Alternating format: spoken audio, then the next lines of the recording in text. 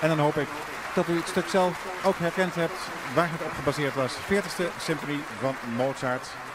En dan met uh, heel veel uh, stilistische nieuwigheden, in ieder geval voor de tijd van Mozart.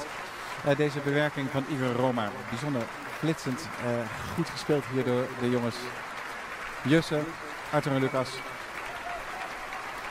Die vanavond spelen voor zo goed als uitverkocht Tivoli Vredenburg.